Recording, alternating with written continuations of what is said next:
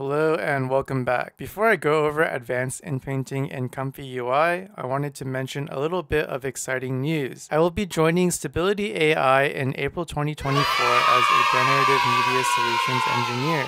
As to what the role entails, it's kind of like a mashup of a technical artist, machine learning engineer, and designer. Basically, all of the work I've done on YouTube falls under that umbrella. So if you want to learn more about that, you can check out the stuff I've done in the past. In addition, if you've worked in the VFX industry at a top level, such as Industrial Light and Magic, the role is very similar to a generalist that is responsible for the end to end pipeline and shot creation for a specific brief, but also incorporating AI into the workflow. From conversations with some art acquaintances in the field, this is trending towards the norm, so better pick up the AI stuff quickly so you don't get left behind. Anyway, that's one of the main reasons why there haven't been any videos lately as I was interviewing for the position in addition to doing other research. I don't want to get into the entire story in this video, but I was approached by internal staff gauging my interest for several positions and had a very positive experience throughout the entire pipeline. If there's enough interest, I can make a separate video about that. Also, I haven't joined yet, so please don't ask me about Stable Diffusion 3 details and flow matching performance and how to train SD3 models. I'm just as in the dark about it as all of you are, and even if I did know something, I couldn't tell you anyway. Now, let's get back into the crux of this video, which is advanced inpainting and Comfy UI targeted towards SDXL. However, most of the nodes do have SD 1.5 backwards compatibility, so I'm sure you can learn a lot. As for resources, I'll provide three different workflows. The first one is basic text to image or our starting point. The second one is the completed version, and the third one is the version that I currently use on a day-to-day -day basis, which has a little bit more complexity in it. That being said, what I'll be doing in this video is going from the basic text to image workflow, then building it out so that I can perform high resolution inpainting with the help of the Masquerade nodes. Afterwards, I'll integrate various preprocessing nodes as well as the Acly SDXL inpainting patch. Then I'll show you how to mix in IP adapters so that I can condition your high resolution inpainting mask with attention masking. Along the way, I'll demonstrate how to use various quality of life nodes such as rgthree fast muter and bypasser for debugging and context switch to swap between different workflows and nodes. That was a bit of a long introduction, but finally, let's get started.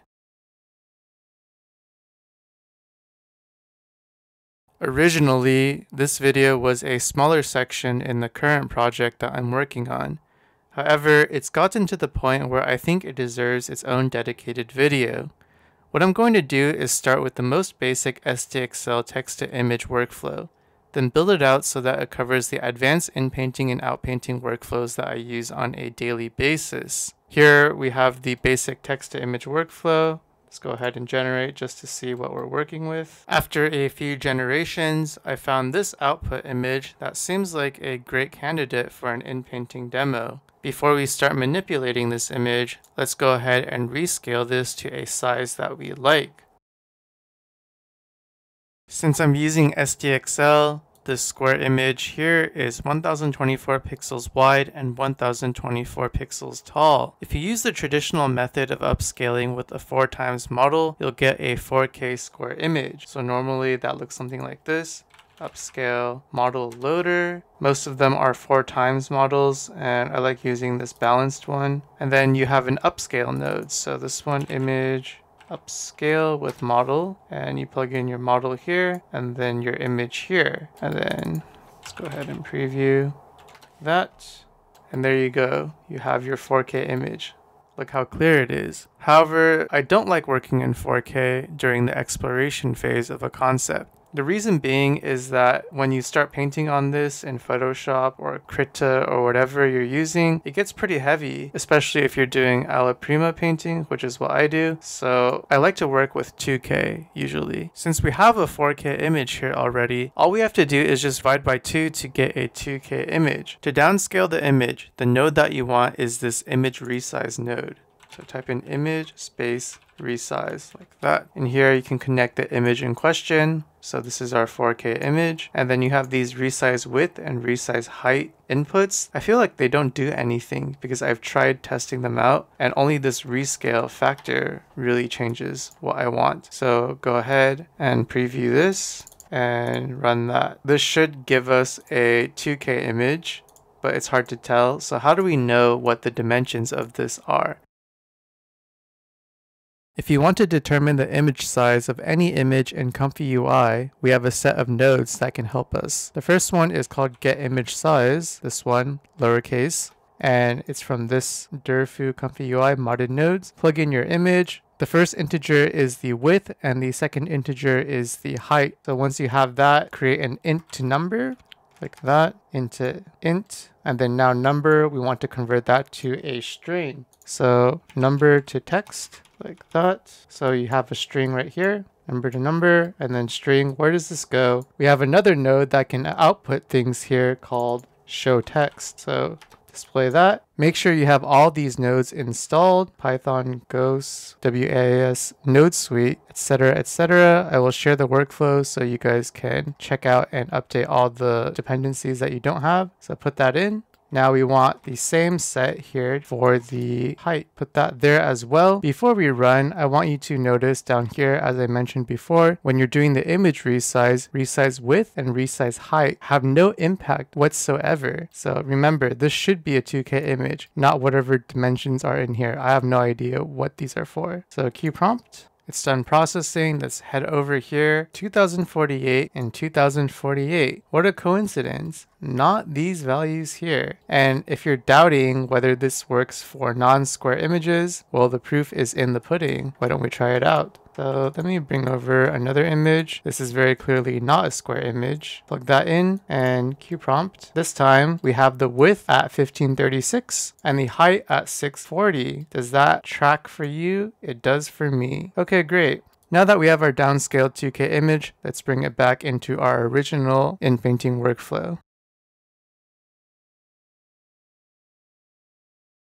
I'm back in the text to image workflow. You can see nothing has changed. All I have done is just swapped out the 1K image for the upscaled 2K image. It's a little bit clearer, but not that clear. And let's go ahead and just bring over the nodes we created before to get the image size. This is pretty invaluable to debug what you're doing. So put that down there. You even put it on the side if you want it to be a kind of a utility function or set. Now, normally, how do we inpaint? If you want to go the most naive, the most bare bones, right click on your image, click on open in mask editor and paint black where you want to change it. So if I paint black here, I want to change the head and then save it to your node. However, I want to showcase some other nodes that you may find useful or may even prefer instead. The first one is called Preview Bridge, so click on that. It's from the Impact Pack. So why would you prefer to use this preview bridge instead of just using a load image and then painting the mask here? Well, there are times when you do image operations on an image and you don't have this mask output on an image. Let me demonstrate. For example, let's go ahead and bring in an image crop node like that. Plug that into image and notice how here we don't have an output for the mask. There's no green output. What do we do? First of all, let's go ahead and create a rudimentary crop like so 768 by 768 and then put this into the preview bridge. This functions much the same as the normal preview image, like that. Let's hook that up as well so we can compare. The cropping is done, and you can see that it's starting from the top left over here and cutting out the top left corner. We can change this by manipulating these values. So let's just try to get a little bit more over there. Not perfect, but you get the idea. So if we want to go up, decrease, this way we get a close-up or a more zoomed in view of the face. This will become important in a little bit, but I want to finish explaining some of these extra masking tools or painting tools to you. See, if you use preview image, you have no mask output, but if you use this preview bridge, you can go from an image that doesn't have a mask output to a new image, and then you can right click here and still do a open in mask editor, or you can do a open in SAM detector and click on here to detect the face. You have a plethora of ways to do your selection. Besides the preview bridge from Impact Pack and the vanilla method, you have one more tool called the Canvas tab. This this is the GitHub repository for Canvas tab by Lerc. These are the hotkeys for it. I'll show you how to use it in a second. If you need any more documentation, this is the place to go. So head back here. To use Canvas tab, we have to click on the edit here. Once we're in here, you can go ahead and click on these red buttons to get rid of image A and image B. These are 512 square pixel images that are the default, and we don't need that because we're going to create a new image for our specially made downsampled 2K image middle mouse button to zoom in and out. On scroll, copy and paste your image over here. There it is. If we want to paint a mask, go over to mask, click on that, you can see that the current color is dark purple, change that to black, raise the opacity, and if you want to change brush size, just drag up here. So let's paint the face like that, and if we go back to Comfy UI, you'll notice that nothing's happening. We don't see anything. The issue is that in here, you have to click on this green button over here. Click on that, and then once you go back here, it's available. Whichever one has the green indicator flashing is the layer that will be sent over. If we do a preview image, you can see the image here. If we want to visualize our green mask, make sure we convert it to an image first. So double click, mask to image, that, drag that down. We want the color to be white and then preview image here. Pull that over, Q prompt again. What do we get? So we have the white here indicating the black mask that we painted in. And the cool thing about Canvas tab is that even if your opacity is at 100% inside the painter, here you can see the opacity is at 100%, it's still lightened up here so you can still see what's underneath, which is a cool addition, I would say. These are the three methods that I know of how to create a in-painting mask.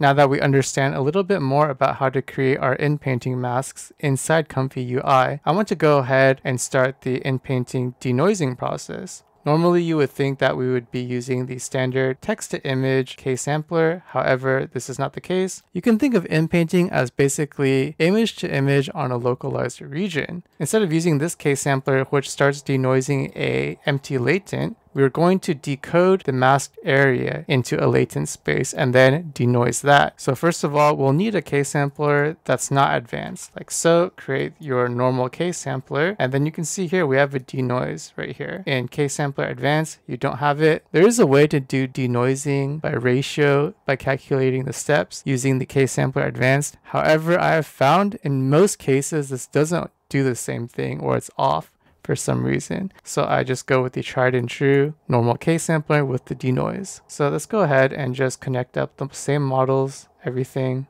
like that. All we're missing now is the latent image. And where is the latent image coming from? Now we have to convert this masked area into a latent image. So we need a VAE encode. That. Let's go ahead and set up this node. It's pretty straightforward. If you have any doubts, make sure the colors match up. Blue is always the pixels, green is always the mask, and red is oftentimes the variational autoencoder. So I'll just drag mine all the way over here and plug that in as well. One more thing, we have this grow mask by, which is an option to add padding around the mask we've drawn here. You don't have to worry too much about it because this is not going to be what we use in the end. So drag this latent over to our denoise K sampler and then connect this to the latent. Everything looks good to me. Let's go ahead and generate. So you can see it running, trying to figure out the face here. I also connected the rest of the things up here. So I had steps and the random seed going in here. And we can look at the final result. It is a little bit better than what we had before, but still not that great. So why is this face not working out so well?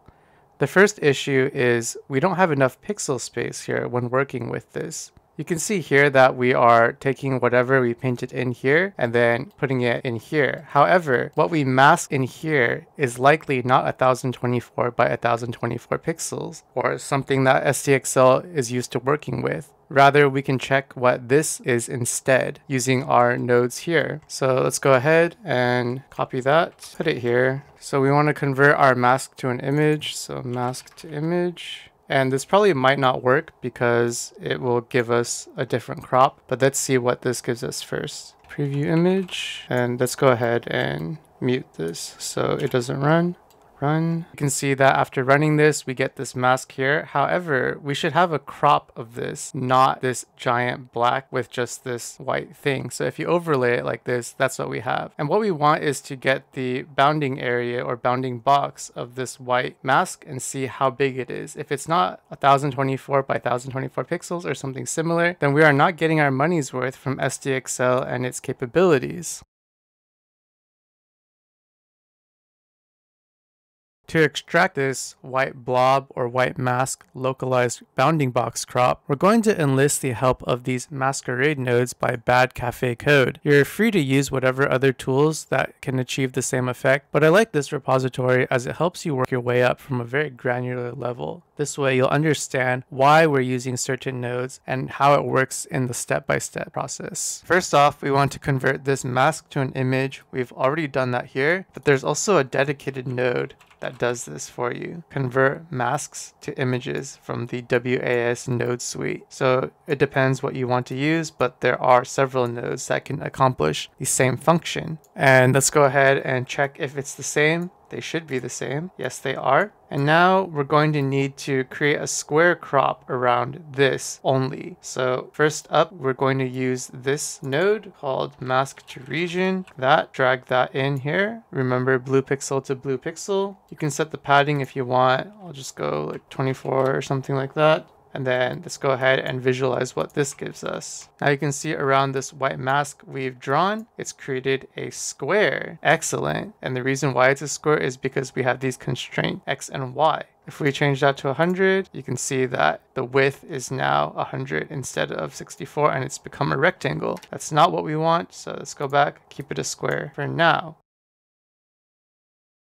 Next, we want this white square to be cut out from the original image so that it is its own white square at full resolution with no black background. To do this, we take the cut by mask node this time. So bring that in. Once it's created, you'll see that we can provide five different values. The image is the original image, so let's go with this one right here. Then we have the mask, which is the mask from mask to region. Then we have this third one, mask mapping optional, which I've never used, so I don't think it matters. And lastly, we have force, resize, width, and height. The values that go in here are the ones that control the resolution of the crop. Let's first use our existing nodes from the image downsampling to print out the current resolution of the mask to region crop. Go ahead and run this this in a vacuum for now, just to see what will happen. Obviously, this will fail for get image size because there is no input. However, you are also failing on cut by mask because there's no force resize width or force resize height. So what do we do? Well, we can either try with this image or try with this. Let's go ahead and try with this. So the expected behavior here is that it's just going to give us the resolution of this entire image, which is a white mask on top of a black background. We're not going to be able to get the resolution of the white mask by itself, unfortunately. Run, and now we have another gotcha here. Error occurred when executing get image size, samples.shape 3, samples.shape 2. The issue here is that master region creates an alpha image and we want to have an RGB image instead of an RGBA image. Let's go ahead and convert it with an images to RGB node from WAS node suite. And now check what the expected behavior should be. Originally, we took this 2K image and then cropped it down to a 768 square pixel image and then drew a mask on top of that. This entire black square should be 768 as well. Check it and yes, that is 768 by 768. Now let's go ahead and play with this cut by mask for fun. So make sure it's hooked up to an images to RGB. We're just going to put some for fun values for a force resize width and height. Let me go ahead and create a primitive for each of these. What if we do 5 and 5? Yes, we get something correct now. So with deduction, we can tell that this force resize width and height controls this mask resolution. Knowing this, let's continue. I'm going to create this SDXL resolution right here because I'm going to use 1024 by 1024 here and convert these to inputs. Here we go. Width and height. At this point, theoretically, this should be 64 by 64 pixels. However, we can't know for sure due to the nature of these nodes. But now let's go ahead and preview this. And voila, now we have this part of the face cut out in a square. Nice. And for sanity's sake, let's check how big this image is now. So run that. The resolution is 1024 by 1024. What we've done up until now is we've taken this black mask we've drawn and turned it into a white square crop out of this. So we have the base image that we're going to work on. But what about the mask? The mask has not received these transformations at all. We're still stuck with this or this. All we have to do is duplicate this cut by mask, control C, control V. Please recall that we put the image into here from the original. So see image to image, but now for image instead, we're going to use the mask. So take this and put this into the image. I hope that makes sense. For this, we're using the image as the base. Now for this, we want to use the mask as the base. Copy that and preview. There we go. Now you see we have matching resolutions and the locations follow each other. Great. So we have everything we need now. All we have to do is put this into the same inpainting that we did here, but a little bit different. Let's go ahead and encode our pixels now. So thanks to this workflow, we can see what we're doing. Pixels are from here. Let's go ahead and add this VAE encode. That, there we go. And then we want to have our VAE come in here. We've encoded the pixels into latent and now we want to give the latent space noise mask, set latent noise mask here. And our mask is from here. However, this is an image. Remember, green is mask, image is pixels. So image to mask. There we go. And now drag this mask all the way up there. Lastly, latent to latent. So we're not using this one anymore. We're using our new high resolution inpainting. Reactivate this and run it. So we should see stuff show up in here. Oh wow, you don't say. We're getting a face here, whereas before we were getting blobs. Very interesting. However, there is one issue we have now that might not be so apparent. There's a few issues we have to solve on this image, but I just want to go ahead and compare with the previous workflow, the non-high resolution inpainting using this VAE encode for inpainting on this. So whatever pixel resolution this is, we're only working on that. So here we go. Let's bring those images in here to compare that and that. Pretty drastic difference, I would say. This is very incomplete and this seems very well rendered. However, there's improvements that still have to be done as well as compositing. So let's do the compositing first. And what I mean by compositing is, remember, we should get this as an output, not this. This is a medium or in between. What we have to do is stitch this head or face back onto the original body, which we're not doing here yet. Don't worry, it's not super difficult, but it is not that self-explanatory to do, for sure. The node that we will need here is the paste by mask node. So let's go ahead, paste by mask and it's also from Masquerade nodes. If you look at the badge in the top right corner, here you have four different inputs with one of them being optional once again, which is the mask mapping optional one. You also have resize behavior, but we'll get to that in a moment. First, for image base, we're going to use the original image. Find it, it's going to be this one, reroute, and pull it all the way over here. Next is image to paste. This is going to be the decoded image from our high resolution inpainting. So here, make another one, done. Next we have our mask or mask to region. Remember that we cut out the white square from the original image here, this one, and this comes right after the mask to region. The purpose of this is to allow the square crop around the face and only the square crop around the face to be replaced. So grab that, pull it over, reroute once again. Somehow this got messed up, no worries. Okay, there you go. Lastly, resize behavior. I'm going to change this to keep ratio fit. So we are ready to preview this. However, instead of going straight ahead and connecting all of these nodes properly, I am not going to connect the image to paste one. I really want to showcase what exactly the nodes are doing. So for the time being, I'm going to change the seed to fixed. Here we go. And then I'll create a solid black color using the Comfyroll color panel. So CR color panel and also preview the image as well. This is going to give us a black image. Also make this 1024 by 1024. We'll run this and connect this to here. And what we should get is a black square on top of our original image. Let's do that. And there we go. This is what's happening right now if we use this solid black color on top. And if we change image to paste to be the output from our VAE decode and the high resolution inpainting workflow,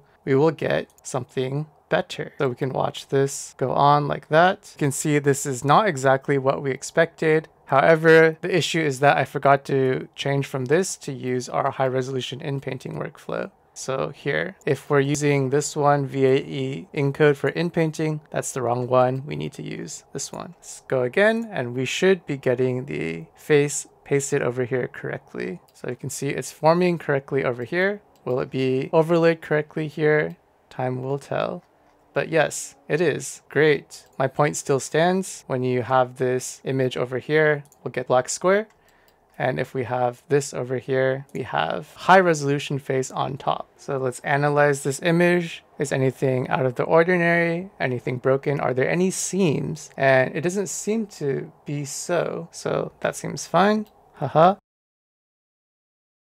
Now, there's one more thing I want to try. How do you know that this workflow is actually working? Does it only work for this? Or does it have another use case? Remember that we cropped this original 2K image down to a 768 by 768 square crop. Why don't we try using the original image this time instead of this cropped one? Let's go ahead and create new reroute nodes. So let's just connect everything that we should connect that image down here. And lastly, we have another image down here to the cut by mask. Okay. And now we have the mask from here.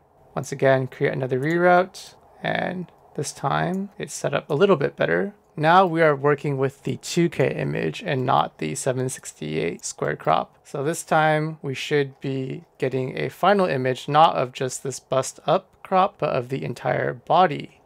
And there we go. The head inpainted at a higher resolution on top of the original body. So while the proportions are off, you can see that the face was inpainted at a higher resolution and we can compare it. If we just take a look at what we had before. So this very low resolution, very high resolution and composited back onto the body. If you have any qualms about it, you can go ahead and change the seed back to something random and then try to find something that looks aesthetically pleasing to you. For me, I don't really care at this point. This is just a demo.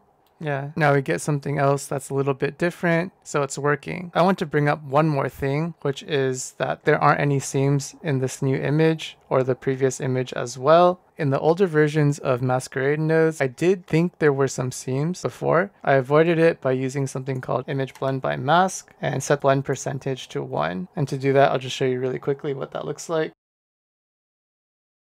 from your composited output, this one, make that your image B. Image A is going to be your original image or image base from up here. And then the mask is also the same mask, like that. Blend percentage at 1.0 and preview image once again. And this time we get something new as well because of random seed. And you can see not really any seams or discoloration.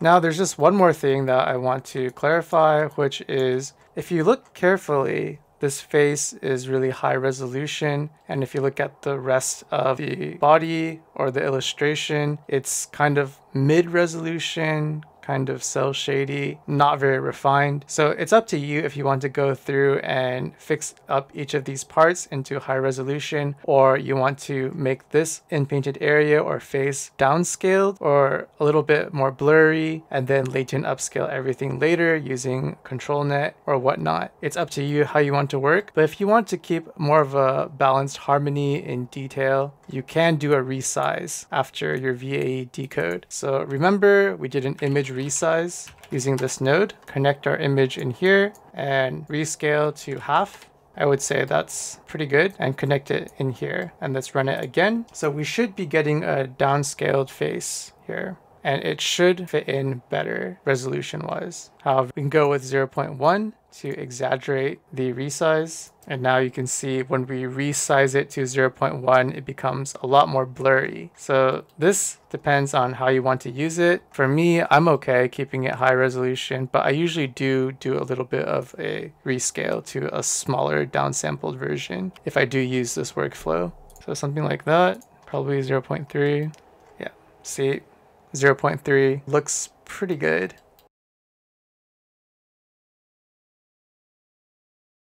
Before I continue showing other applications of compositing and inpainting, I want to introduce the Acly InPaint nodes. So if you don't know who Acly is, he also created the Krita AI Diffusion Python plugin, and I've been using this on a project so far. It's a full end-to-end -end pipeline, so it's going to take quite a while to finish the video as I'm still recording, but yeah, that's an aside. Anyway, the fascinating aspects of these InPaint nodes are not only the ability to fill the existing masked area with various colors or blurs, but also to transform any SDXL model into an SDXL inpainting model with the help of a patch using models from Fooocus by lllyasviel, the creator of ControlNet. If you click on this, read more, and go over here, Fooocus InPaint or Outpaint. To set it up, just follow these directions. Click on this, it'll take you to the Hugging Face. Download all of these and put them in this path pretty easy. I hope you guys can figure that out. As an aside, I've never really had issues using the base SDXL model for inpainting. You can see here that our model is not using the patch and it's doing quite well. But let's go ahead and load up the pre-process workflow that Acly provided us here. If you click on this pre-process, this is the one we want. Also, if you git clone this repository following the instructions like this, you will have a workflows folder. You can go in there and also get the workflows from here. Once you load up the workflow, it looks something like this. I've just swapped out the image that he was using here, as well as changing the model to the model I trained in my SDXL training video. Change the prompts as well. Let's get to it. First of all, let's check out these purple nodes. Basically, you want to follow this structure. You have your positive and negative prompts going into this VAE encode and inpaint conditioning. Remember when I was showing you how to set it up, there was a VAE encode for inpaint. This is default in Comfy UI. So it's almost like that. And after that, you connect your latent inpaint to this apply Fooocus inpaint node. So in here goes the base model and then the patch green to green and then latent inpaint pink to pink. And then you still have to have your latent samples, which is your latent image. One thing I want to point out is that this is not doing a high resolution inpaint at all. We will have to patch this up and integrate it into our existing workflow. Anyway, let's go ahead and look at the settings. So if we go to the repository page, you can see here for fill masked, there's three options, neutral Telea and Navier-Stokes. If you don't know what Navier-Stokes is, good for you. If you do know what it is, you're probably an engineer. Each of these options fulfills a premise. Neutral fills with gray, good for adding entirely new content. Telea fills with colors from surrounding border, based on algorithm by Alexandru Telea. Why don't we look him up? If you go to this paper, an image inpainting technique based on the fast marching method, I think this is it. This is from 2004. This is what it's doing. And lastly, Navier-Stokes, which fills colors from surrounding border based on fluid dynamics. So we can open up these two base images and see what's going on. This is Telea, so it's doing some kind of smearing, and then this has a cleaner smear. So if you want big blobs of paint, use Telea, and then if you want to use a more smooth version of blurring, use Navier-Stokes, is all I can say heuristically. Let's head back to the nodes and see that fill mask area has these three different options, neutral, Telea, and Navier-Stokes. And I've also already painted in this mask for the face. It probably won't help too much because this is not a high resolution in-paint workflow. Let's go ahead and make sure this is connected up to this node here because this is the one that encodes the pixels. If you follow this, this, and then here, pixels. Okay, it looks good to me. Run. The inpainting is done. As you can see, this is very reminiscent of the low resolution inpainting. Obviously, there's no masquerade cutout or anything like that. We will integrate that later. However, let's go ahead and try each of these just to see what's going on. Duplicate this one over here so we can see what the other two look like. In fact, let me just copy and duplicate those over here. Mute the K-sampler as well, since we only want to see previews. Control, Telea, and then Navier-Stokes.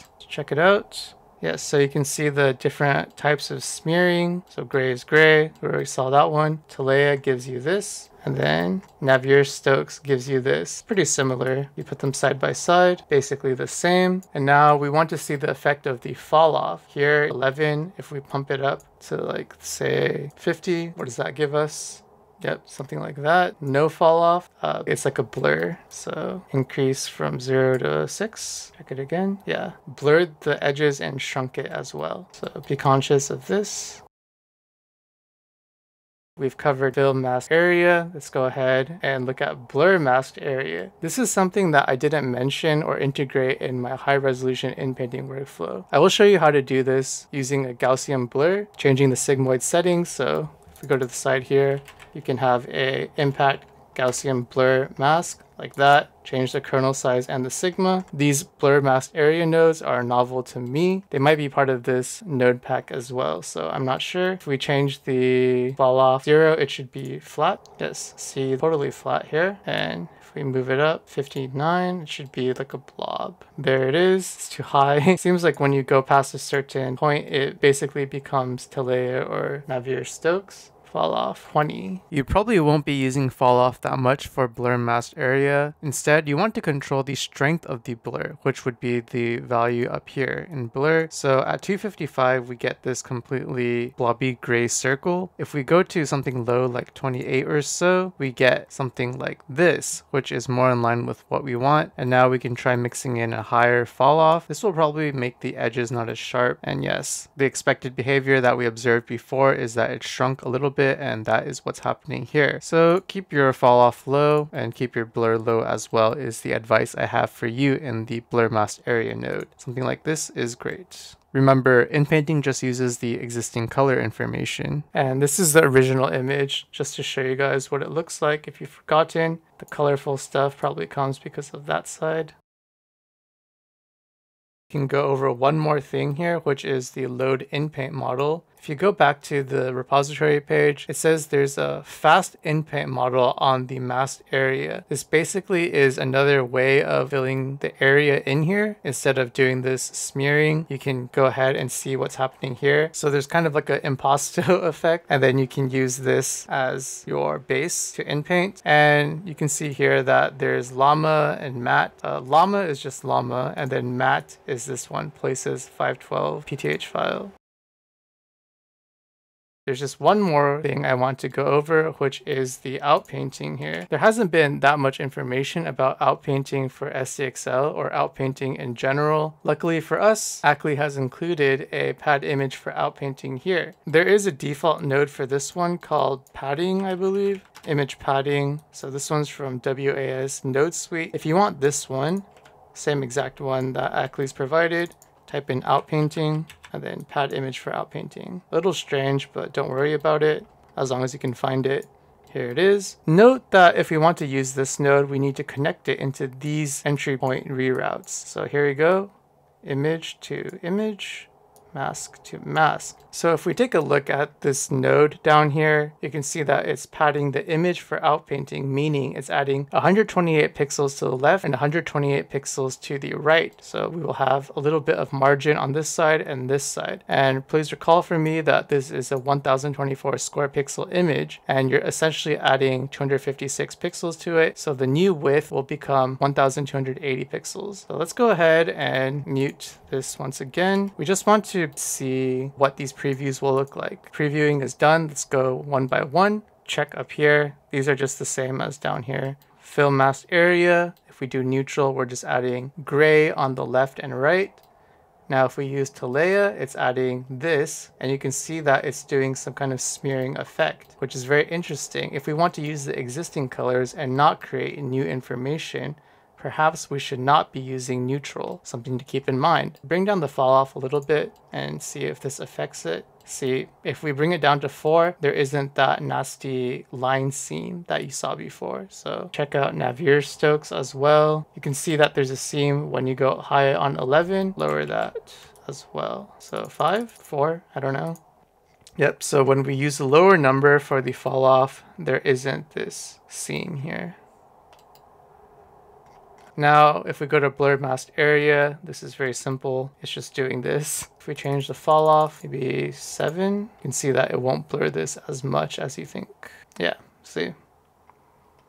It just expands it and then runs a blur there. It really depends what your use case is it's not so complicated and they're oftentimes repeating each other. Lastly, you can see here that there is basically no seam. The reason being is this is a fast inpaint model, so it tries to use the corresponding pixels around the padding to generate this preliminary base. Remember, if we want to add new stuff, it's best to use gray, good for adding entirely new content. Let's go ahead and try each of these. First, neutral 11 looks good to me go ahead and change our prompt. No longer do we want a beautiful male face. Let's say aqua teal environment ice, something like that. Unmute our node there and run. So it's completed and it's true to its word. It's added completely new information and used basically nothing that was there before. So it went from white to teal, completely denoised. So I could see this padding outwards workflow with neutral gray to be very good for creating some kind of framing design. Maybe we'll use that later, I don't know. Now let's go ahead and use blur mask area. I think this will do very well. There we go. It's created ice. You're looking from an ice cave outwards into the environment, something like that. But it is using the existing information from this part. Maybe add something like flower, sakura blooms. I, I don't know, cherry blossom. Now let's go ahead and check out the fast inpaint. So this one down here, run it. It probably won't be super different. And if we don't like too much of the strength, we can turn down this denoise, same as always. Here is the result if you use the fast inpaint model. It's added this Sakura cherry blossom tree on the right and filled in a little bit more of the blurry area. Let's check the final version. So it looks pretty consistent, I would say, but not too much has changed. We can try some of these smearing techniques. How about Navier-Stokes? Why not? This probably won't be super different from any of these, but it's good to try and really understand what's happening in each of these. Let's check the results. Yeah, it seems very good as well. Probably a little bit better than the fast inpaint, I would say. The seam is more or less gone, just a little bit here. Your mileage may vary. We've more or less got a handle on how all of these Acly inpainting nodes work. Let's try and integrate those in with our high resolution inpainting workflow. This is where we left off in our high resolution inpainting workflow before our little segue and investigation into the Acly inpainting nodes. Let's go in order and pour over the features one by one. If you recall, the very first one is fill masked area with 50% black or pure gray. The helpful note here mentions that it is best suited for adding objects or making drastic changes. We probably don't need this to replace the face, but let's go ahead and add this in anyway. It'll be good to have a wide selection of tools that will help in each use case. The question now becomes, where do we add in the fill masked node? Well, it's quite simple. We have to change this part and fill this area or our masked area with gray. That comes right after the cut by mask and directly before putting our pixels into the VAE encode. Type in fill masked or masked fill. There we go. Our image is in here, simple. And then we have mask. Remember, we had the second cut by mask that is a duplicate of this, making sure that they follow the same transformations. I'll bring that up there, and there we go. However, we can't connect it because this is an image. We must convert backwards into a mask. Convert image to mask. There we go. And output here. Let's go ahead and save ourselves some trouble of having this entire workflow run by muting this VAE decode here with Control M. However, oftentimes you may feel that it is tedious to go back and forth. So going to the very end of your workflow, muting this VAE decode, coming back here and checking your mask. Let's simplify the process. So come back here, unmute this, and we're going to use the help of something called the rgthree nodes. rgthree is another set of custom nodes so you'll have to install them here, rgthree Comfy. And the one that we're going to use is something called Fast Muter. It tells you how to do it. However, it might not make so much sense if you just read this. So I'll go ahead and do a quick demonstration. First off, we need the rgthree mute or bypass repeater node. You might wonder, what is the point of this? Yeah, good question, good question. It's really not so straightforward. Sometimes you have to dive into the code to understand what's going on. Now go ahead and create a group. You can call it whatever you want. I'll call it VAE decode. Make sure it's surrounding whatever you want muted as well as the mute node here. And I'll change the color just to make it more pronounced. So since this is usually the purple one, I'll make this one purple as well. Once you have your singular group with everything set up appropriately, you want to output this mute bypass repeater node into a fast muter rgthree, not fast groups muter, just the basic bare bones singular fast muter. Remember in the rgthree repository, a powerful control panel node to quickly toggle connected node. So there you go. Once you connect here, you can see that has the same name, opt connection. There we go. And once that's slotted in, it gives you this. Now go ahead and quickly rename this. The naming scheme confuses me. Enable mute bypass repeater rgthree. Yes, so you would assume that it's enabling the mute, but it's actually not. So if you toggle this on and off, it's muting this. So the naming structure is inverted. Change the name on the one inside the group. Go here, right click, title, and just call this VAE encode. And now once you rename it, you can see here, enable VAE encode, yes. And then when you toggle it off, no, great. So let's change the color on this to blue. And remember, we wanted this to be useful. We don't want to have it set up over there. And when we want to mute the VAE encode and just preview the masks, we have to uh, scroll all the way over here, zoom in and do all that. No, just drag it over to where you're working at. So if you want it to be enabled, just click yes and look over here. It's enabled, toggle it, muted, out of sight and out of mind. So now that that's muted, let's go ahead and generate so we can preview the mask. And there we go. So you can see we didn't generate a new image because everything depends on the VAE encode. And if that's muted, nothing will happen.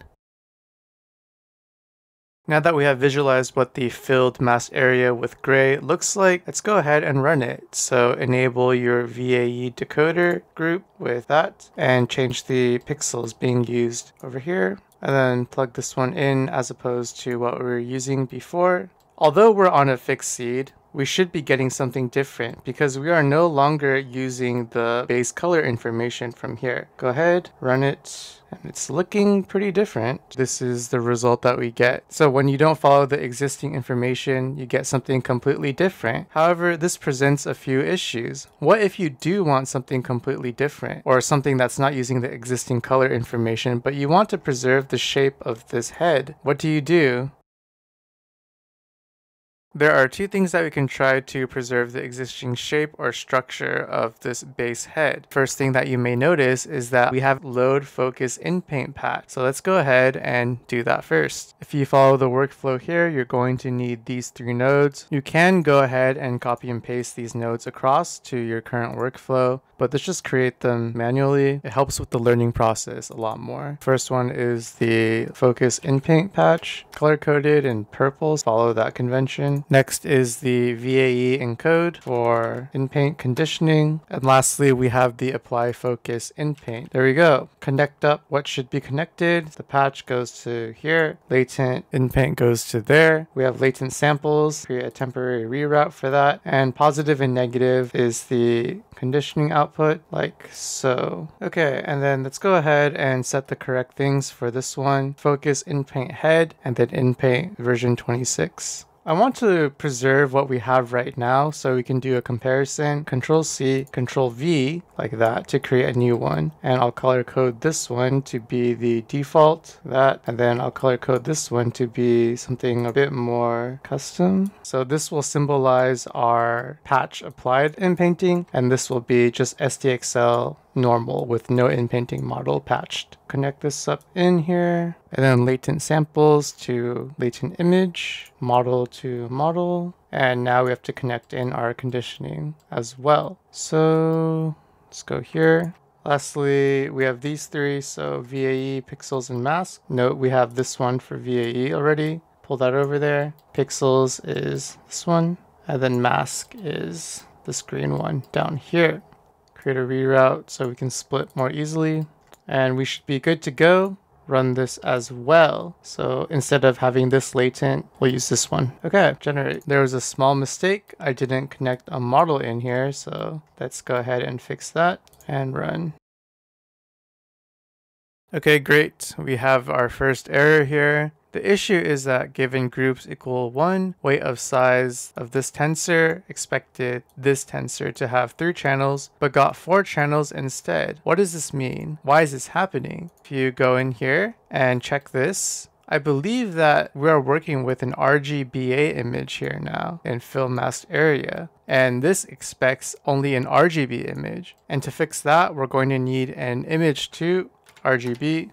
There you go. Connect that into images and then this up to the pixels once again. Hopefully reduce our channels from 4 to 3. So this is our result. It hasn't preserved the shape of the head and instead tried to do its own thing like before. However, the colors are a little bit different. Without this inpainting patch, we get this, which looks more harmonious with the existing image. And if you use the patch, it looks very subdued. I'm not so sold on this inpainting patch for this particular instance. However, we can just leave it here in case we do want to use it. Since the inpainting patch has not preserved the shape of the head, let's go ahead and use control net as our backup option.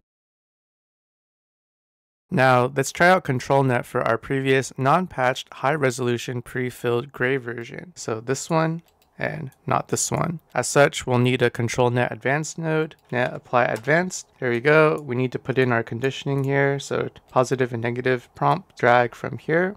Done. We also want to connect this up to our VAE decode Going to shelve this one for now. Now we'll need the ControlNet model, ControlNet loader. Going to go with a dep for now. SDXL dep, put that one in. And now we need the pre-processed image. Let's find the image before it gets pre-filled. So here we go bring out that reroute and now we need the depth estimation let's go with zoe and preview it so this will go into our image but let's go ahead and preview it to see what's going on that means we have to use our mute node again disable run. This looks like something that we want, I would say. Go ahead and connect your conditioning up here. Bring that up, place those, and we should be good to go. Re-enable our VAE decode and run. It's finished and we get this result. It's adhered to the shape of the head and the face that we had before as opposed to changing the direction. Once again, you can see that the color palette has changed completely and it's not using the base color information because we pre-filled with gray here. And remember, filling with gray is good for adding new information. Ending up there is completely dictated by the prompt. Portrait of a teenage male with a white and dark desaturated blue color scheme. However, this is not giving me that. I don't know why, but that's just the way the cookie crumbles, I guess.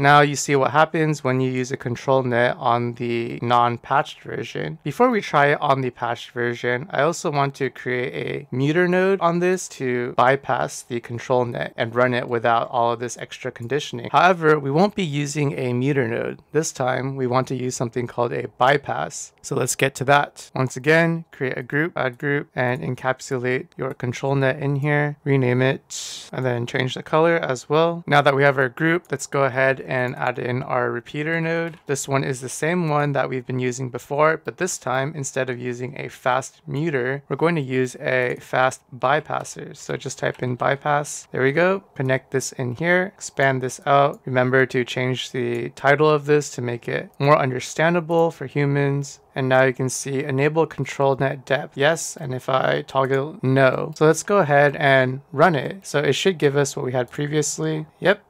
Seems to be working. Very good. Now that we've established that the bypass is working, let's go ahead and create the same exact control net for the inpainting patch. Expand out your group, enable it, control C, control shift V to paste it with all the connections intact. We want to connect this before it heads into the final part. Bring this in here, I'm not sure if the order matters on this, but we'll see. And then connect it into this over here. And let's see what this offers us. Don't forget to connect the correct latent, so that to that, because we're doing the Fooocus in painting patch. This is the output that we get. I would say it's not doing particularly well. However, you can see the effect of control net as it is fitting it into this area here. For the time being, let's shelve this control net stuff and explore the rest of the Acly nodes. I'm not going to work with the in-painting patch because I don't really like the result of it so far. It does have its uses, but let's go back and explore different methods of pre-filling.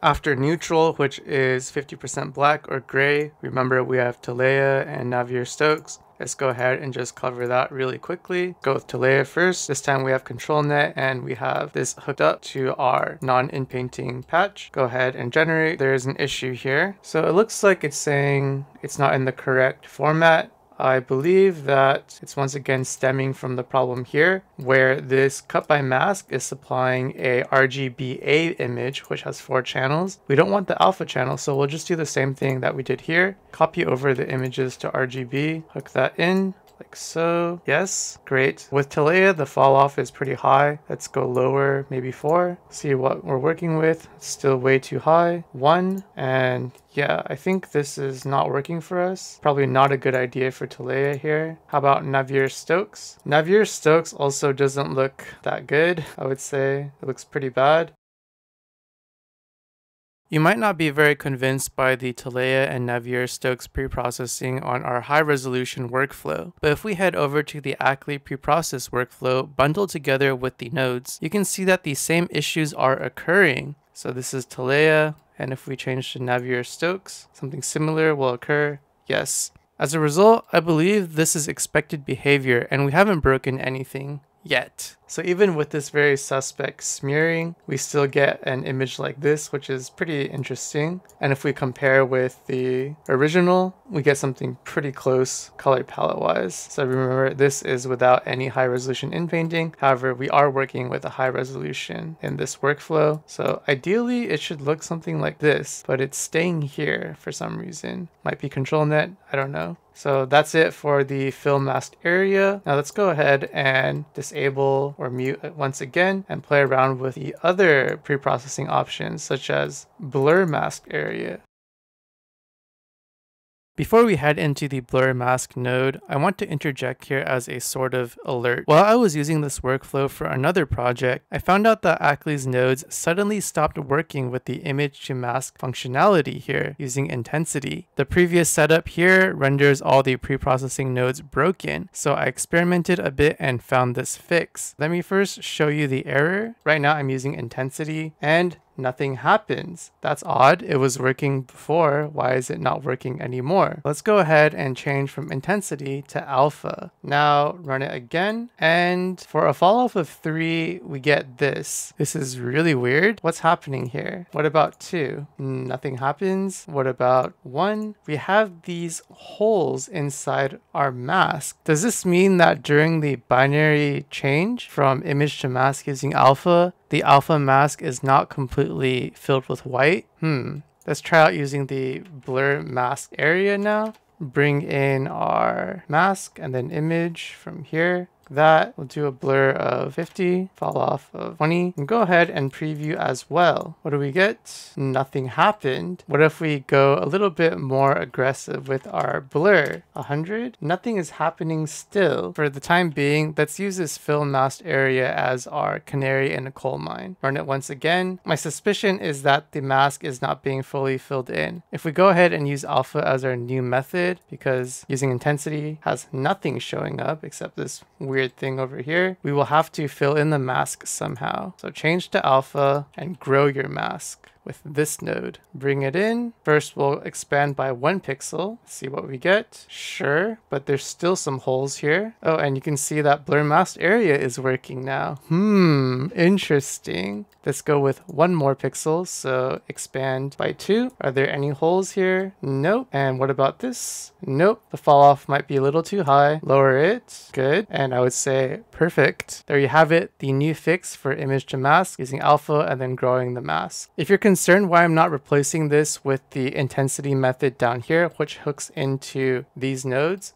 set latent noise mask and the patch inpainting method. The thing is, nothing changed when I tested it with the intensity method when it hooks into here. Everything works perfectly, so there's no need to replace it. That's why figuring out the fix to this was not so straightforward. As an aside, the subsequent videos won't have this fix applied, so that being the alpha and then grow mask method, but the final provided resources in the form of workflows will have it. Apologies, I don't have time to go back and re-record everything, but I did my best here.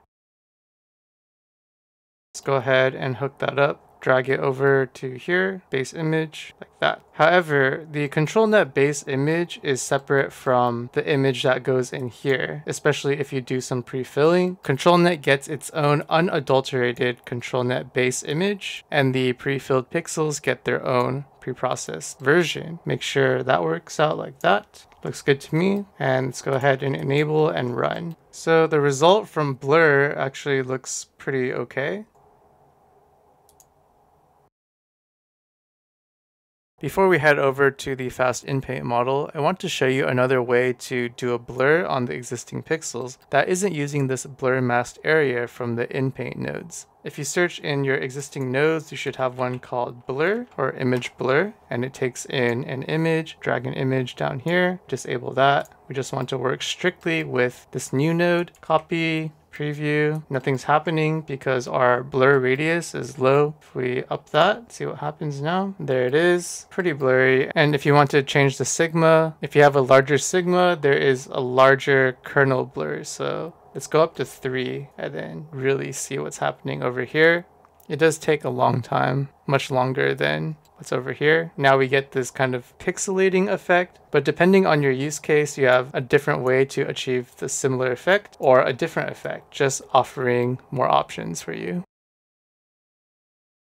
I want to point out an issue here that occurs if you choose to go with this image blur workflow. You will end up generating this kind of output so if you go over here and look at it, you can see in this image blur workflow, there is no mask here to assist us in only blurring the head portion of the image. Since everything is being blurred in this preview image and we're only running the K-sampler on the mask, this is brought back into focus, but the remainder of the image is blurred. Let's go ahead and put this side by side with the blur mask area node from Acly for a juxtaposition. See what I mean? As such, we need one more step of preprocessing here before setting it to the remainder of the workflow. We will do that with the help of the image composite mask node, which is a very powerful node. In this node, we have three inputs, the destination, the source, and the mask. You can think of the destination as the bottom portion of the layer stack, so everything will go on top of the destination. With that being said, let's bring in the original image down here and put it into the destination. Next up, our source is going to be what's going on top of the layer stack. So that is the image blur. And then our mask is just going to be this mask. Let's pull it from the image to mask, very simple, and then preview the image. What we masked out is being blurred, and everything under that is not being blurred. Now let's go ahead and connect this up to what we were using before and then enable our VAE. And there we go. There's no more blurring down there. Everything is in focus. Lastly, we want to try out the fast inpaint model. So go ahead and mute this image blur. It takes a while to process. And now we need inpaint, inpaint with model. So both of these, there we go. And same old thing, bring in your image, and then your mask. And remember, we downloaded two versions here. There's one called Places and then one called LaMa. So I think Places is MAT and this one is LaMa. So let's just try LaMa first. If we use LaMa, this head is completely removed, probably because the surrounding area is white and the fast in paint model uses the surrounding information. If we use places, what do we get? A computer monitor with some kind of plant, I guess, a desk setup, something like that. So I can't see this being supremely useful here. Let's just hook it up and try to generate to see what we get. Yeah. Surprisingly enough, it does give us something, but I would chalk it up to most of the heavy lifting being done by the control net. Once again, let's take a small detour from integrating pre-processing techniques. We'll circle back to outpainting later, but let's go ahead and work with IP adapter. You might ask, I thought this video was about inpainting and outpainting. It is, but the real concept that you should be trying to assimilate is compositing and manipulating portions of an image. Remember, we have sectioned out this portrait crop of the character. However, we can also mask out a different part of our image, then condition our image with a reference image with the help of IP adapter. So if we want to change something else, not the face in particular, we can go ahead and draw a new mask, say around this jacket if we wanted to. For the time being, I've reverted back to the default workflow that doesn't use any pre-processing on the base pixels. So you can see that whatever is being output from any of these fills or smears, I'm not connecting it to the pixels node. Over here, not using that.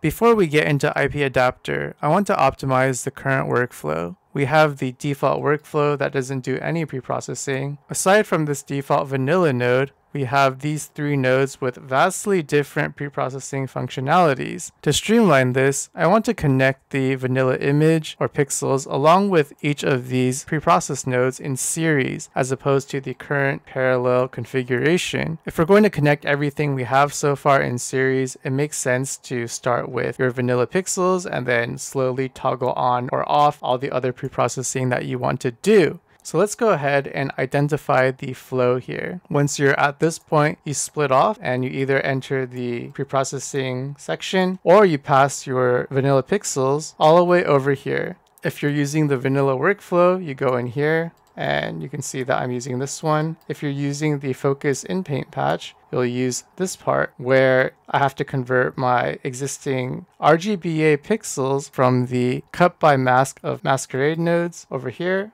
to a three channel RGB image. So what you're doing is essentially getting rid of the alpha channel using this green images to RGB node. So you can see that there are repetitions that we don't really need. In fact, what we can do is just immediately apply this images to RGB transformation like that. And then we no longer have to use this anymore. Just reroute it up here and do that instead. We don't need this anymore. Test it as well. Just run it once for the vanilla. Okay.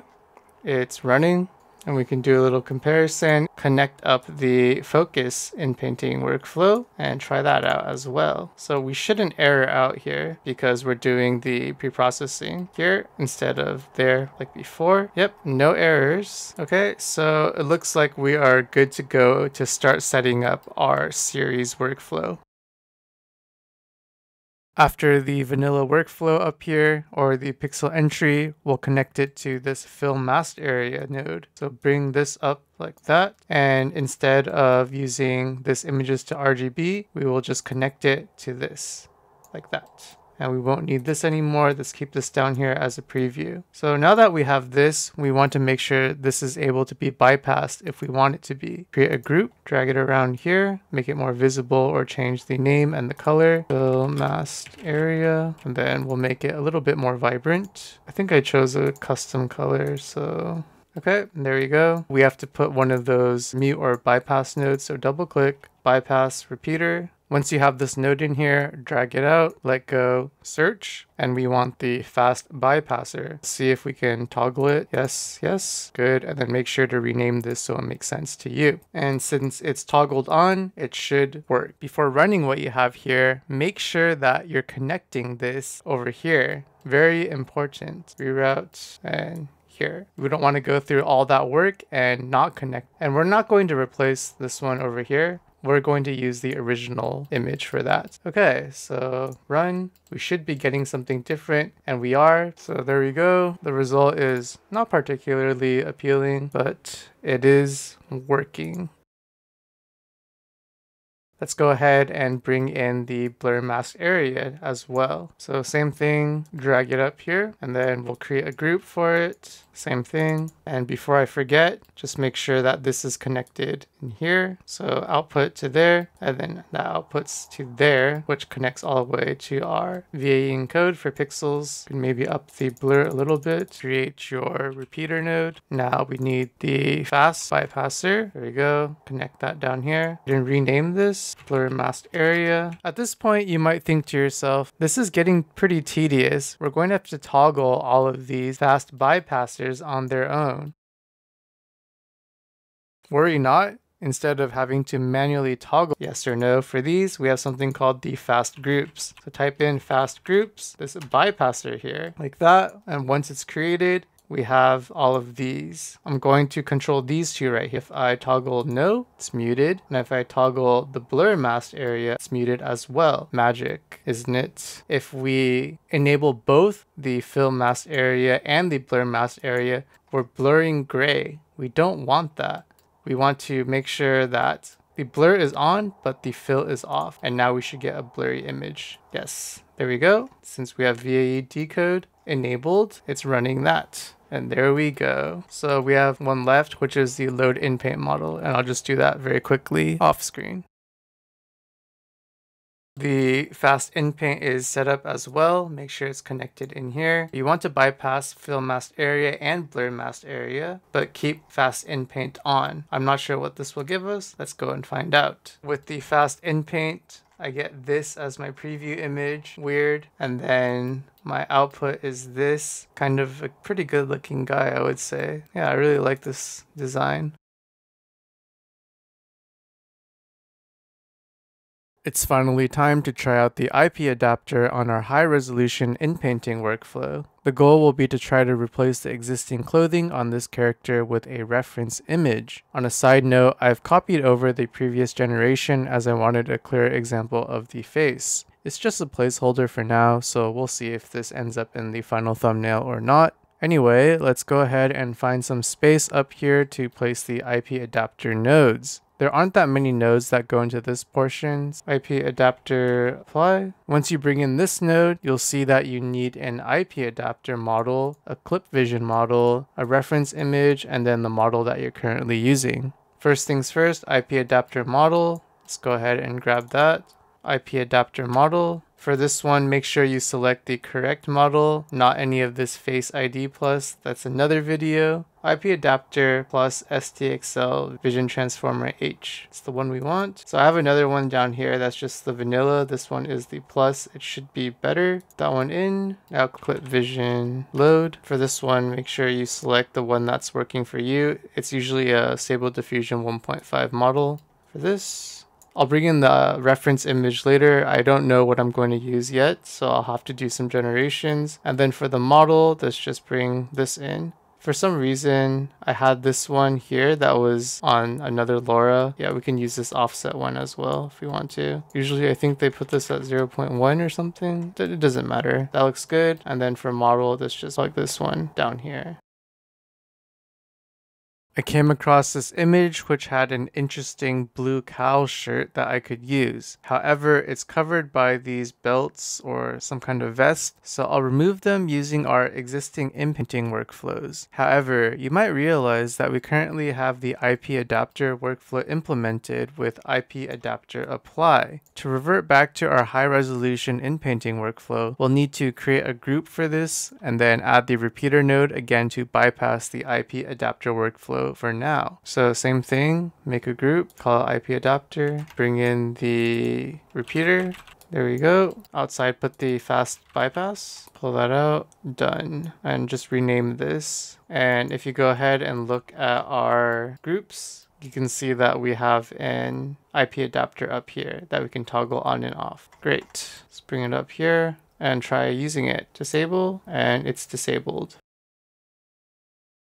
It's finally time to inpaint out this part of the coat covering the blue shirt. Go ahead and disconnect what's in here already. Bring the one with the mask over, connect that up, and then I have my fast groups bypasser here so I can choose what I want. Yes, this looks good. I'm going to use the fast inpainting to remove this part. I don't think putting gray here would be that great and blur definitely would not work here. Do I need control net? Probably not because if I put control net in, it's going to keep the straps there and I don't want that.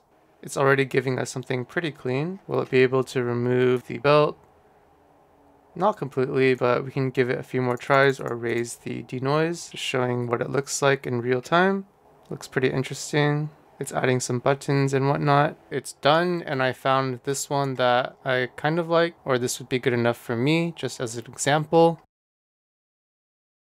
bring this up here to the IP adapter area. You can see the difference if you put them side by side without the coat and with the coat.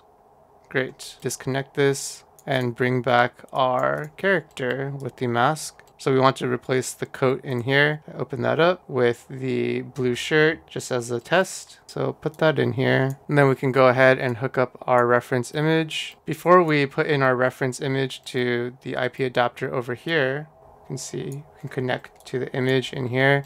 We want to do some cropping and pre-processing just to hone in on this shirt detail and not have the rest of this image influence anything else. If you go ahead and search for image crop, there's two versions. There's the normal one and then I have an image crop plus. This one's developed by cubiq here. So if you want this one, you can go ahead and clone this one into your custom nodes. It really doesn't matter what you use personal preference. I think this one can do like a localized crop or it can search for it so top left center etc the width and height doesn't really matter here clip down to clip vision size which is 224 square pixels so we don't have to worry too much about that and since we're going to run this and preview the image to make sure our crop is doing what we want we're going to have to go ahead and mute our VAE decode so and then just disable VAE decode if you go over here, you should see that it's muted. Great, preview what we have here. Okay, so it zoomed in a little bit too close. Zoom out a little bit more. So I'm going to create a primitive, then convert this one to inputs. This way I don't have to keep changing in between. There we go. So 512, let's see how that goes. So we zoomed out a little bit and we can offset it. If we increase this, we should be going down. Great. This more or less looks pretty good already. Maybe we can shrink this to like 400 to zoom in a little bit more. Let's go with something similar to this. Plug this in to the image, enable IP adapter, and then unmute the VAE decode. All right, now we want to decide on what we want to do here with the image. What kind of pre-filling do we want to do? Do we want to blur it? Do we want to fill it with gray or fast inpainting? Let's try it with just straight vanilla don't enable any of these and don't enable the control net either. Try to inpaint using this with IP adapter. So this is the result that we get. The idea is there. It is kind of working. But how can we improve this? Let's go ahead and look more deeply into this IP adapter. Here, there's something called an attention mask. If you paint in right here, that means when you're doing your generation, it is only going to affect or condition on what's on here. So let's go ahead and have the double power. So we have our normal mask and then we have an attention mask as well. Plug this into the attention mask and see the result. And it looks very, very good. It's deviated slightly from the original design, but this is very clean. Using the mask alone is not going to quite get us there to where we want, but using this mask as an attention mask as well really drives home the point of what we want to do. If this attention masking doesn't make sense to you, for me, it also didn't make sense to me either when I first started using it because I believed that using this normal mask would just be enough to drive the IP adapter. However, if you go over to cubiq's repository for the Comfy UI IP adapter plus and go down to attention masking, you can read about it. It's possible to add a mask to define the area where the IP adapter will be applied to. Everything outside the mask will ignore the reference images and will only listen to the text prompt. If you read this, it kind of sounds like this normal mask should be sufficient. So what I'm thinking is there's probably some kind of intermediate stage where it first goes through this attention mask and localizes it to this area. And then once this area has been sectioned out, then the second stage of the in-paint denoising happens in the K sampler. This is my hypothesis, but it seems to be working out fine if you do it this way. I'm sorry, I don't have a better explanation for you. So there you have it using the high resolution in-painting workflow with IP adapter to to seamlessly put in a new outfit. Well, if you're an artist, then you probably see a lot of issues here. It's not a good idea to have this completely be blue unless that's what you're going for. I would prefer to have this replaced with some kind of white jacket. So let's go ahead and generate a placeholder white jacket. I did some generations and I found some jackets that I like. So I'm going to go ahead and just run them through the preprocessor to center on the jacket itself using the image crop node that I had before. So I have my preprocessed images now. So I have this normal jacket, this streetwear inspired one, and then one that's more of like a vest or something. We can try each one first and then we can combine them later using a image batch. So let me go ahead and create that one for reference and let's just go ahead and connect the first one to the IP adapter and see what we get. This is the result of the first one. It does look pretty interesting and it's turned it into a vest now instead of a jacket. We might need a control net to control the shape of the original one. Let me go ahead and try the other ones first as well before we get too complicated. So now this one which is the streetwear one. And you can see that it has inherited the characteristics of it. If we go over and, and look here, we have this design very close to this one. And you can also see that there is kind of this black square thing over here in the back. Probably it's hard to notice, but it's like a darker square and it wasn't present in our previous generations. Lastly, let's try out this image. I really like what's happening with this one. Very nice, and it fits the aesthetic of the character quite well. We'll just have to do some more cleanup, I would say. Now let's go ahead and disable IP adapter for now. I want to see if the darkened square crop occurs when it's not active. So I'll just bypass it here, run, all the manipulation is taking place, and let's check the final image blend by mask to see if we still have this darkened square. So if we go back and check the final image, there, but it's very, very faint, not so pronounced. If you check on the original image, there is no dark square, so there is something going on when we use the high resolution in-painting workflow here. I went back and did a little bit more debugging with the nodes, and I realized that I was putting the wrong mask into the image blend by mask. Let me show you what I was doing incorrectly. What I was doing was connecting this master region to the image blend by mask, and you can see it's a square cutout. I should have been connecting this one, which is the original mask mask converted to an image. There we go. Now I'm sending the correct mask all the way to the end. Problem solved. So if we look at this, right here you can see there's a very faint crop here and on the subsequent save you can see here only the outfit has been replaced so all is well Let's get back to IP adapter now and integrate in the control net. Here we are, enable IP adapter, yes, and then enable control net depth. Yes, I recall saying that I like this one. So let's try with ControlNet on and then do a little batch imaging, combining all three of these images to see what we get. This is with ControlNet. It looks a little bit better, but one thing that we can also do is use our previous inpaint pre-processing method so we can pre-fill it with gray or do a fast in-paint. So maybe gray would be better here.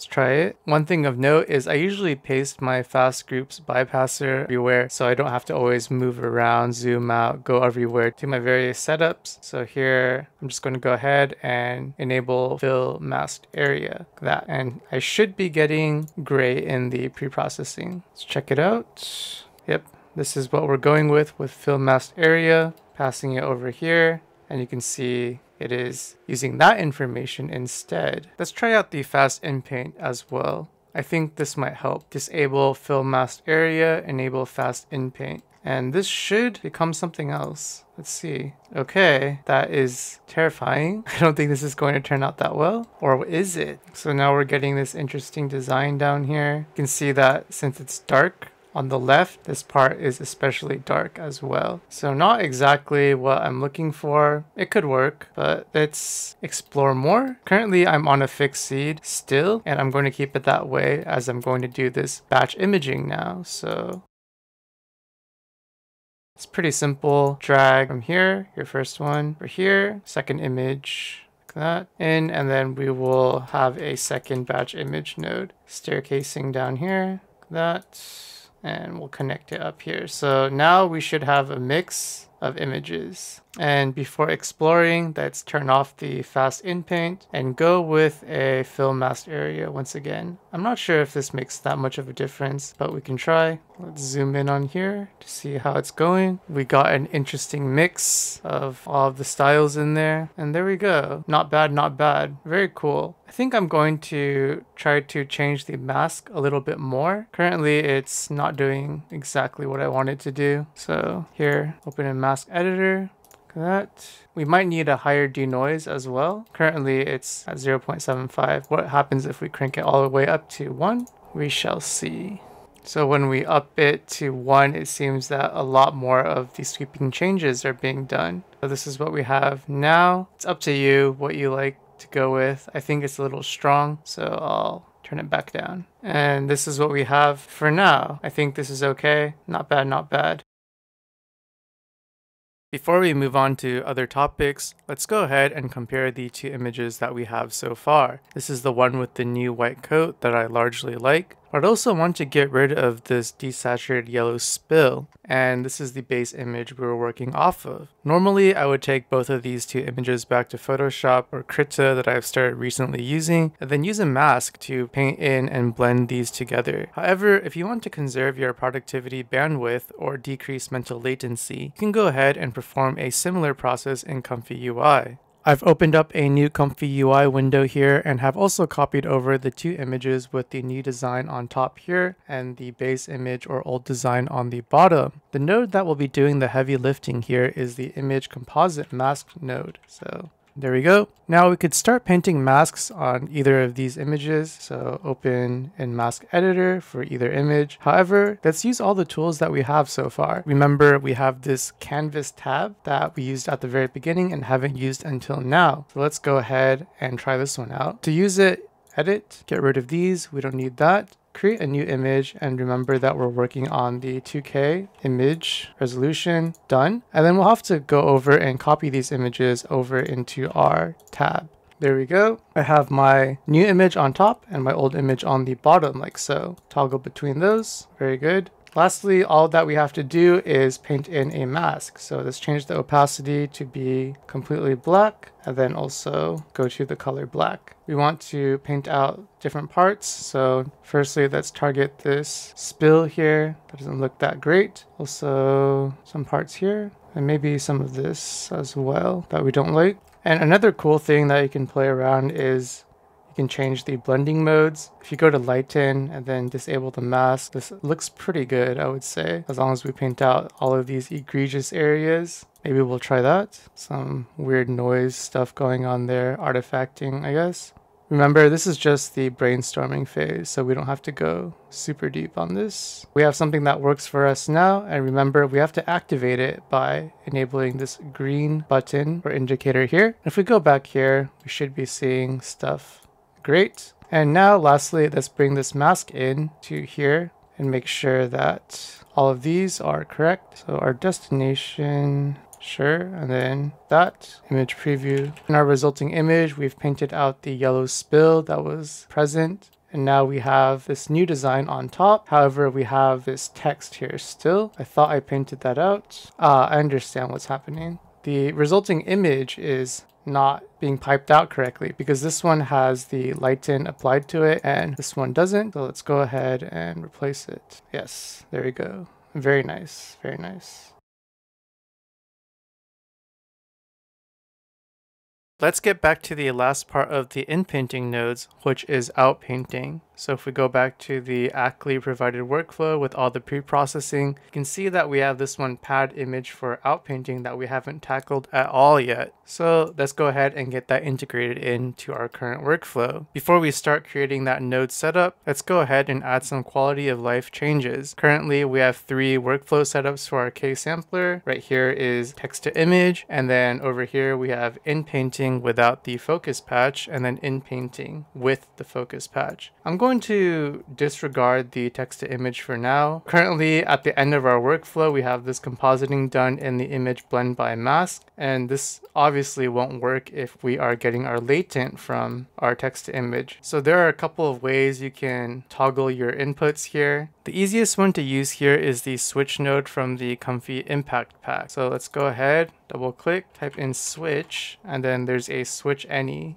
Okay, so now we can drag in our first latent here and then we'll have a second one pop up. The numbers here control which one is going to run. So the very first one on top is one and if we switch to this one, two will run. And then output the latent to here. Since we're using this, I guess we can't use the reroute. So let's go ahead and directly connect that one up, get rid of that. So if we want to run the first one here with no patch applied, we'll set it to one and then run it. It's doing its thing right now. Done, looks great. Our second one is here to enable this one to run switched to and now something should happen here. It is lighting up green, very nice. And you can see my denoise is at 1.00, completely denoising it. There you have it, the new image. Let's take a look. Yeah, very nice. A little bit yellow, but you can always get rid of that in post-processing. So very quickly, that's how you use this switch node to switch between two latents. Of course, you can use this for any other thing, maybe two images, whatever you want. However, this does introduce a kind of an issue where you'll have to always come back to that specific place. So uh, have to come over here and then toggle this every time I want to change whatever K sampler I'm using. So switching from the patch to the non-patched version. There is a workaround to this. To alleviate the situation, we can create a bookmark here. So type in bookmark and you'll have one from rgthree. If you press the one key here, it should take you to this position. However, for some reason, my keyboard doesn't register here on this UI. I'm not sure. So if I put this to A instead, if I go somewhere else and then press A, it jumps to wherever I was here, but in the top left corner. If I want it to be like so, maybe frame it a little bit better. Yeah, that looks good. Move away, press A, and then I'm back here where I can change my K-Sampler. This is a very powerful tool. Let me go ahead and set up a bookmark in the beginning as well. So bookmark, I will make this one W and frame it properly as well. So A, W, A, W. Very cool, very cool. If you want another one for IP adapter, you can go up here, put one here if you want to change the settings, and I'll make this one S. Okay, so W-A-S, W-A-S, there we go. Now let's go ahead and set up the outpainting. I'm going to mute the VAE decode since we won't be needing that. We just want to preview the mask and we'll need this one. Pad image for outpainting. We'll connect our image. I think this will be our new one for now. So bring it over. There we go. Pull that out. Go ahead and preview both of these.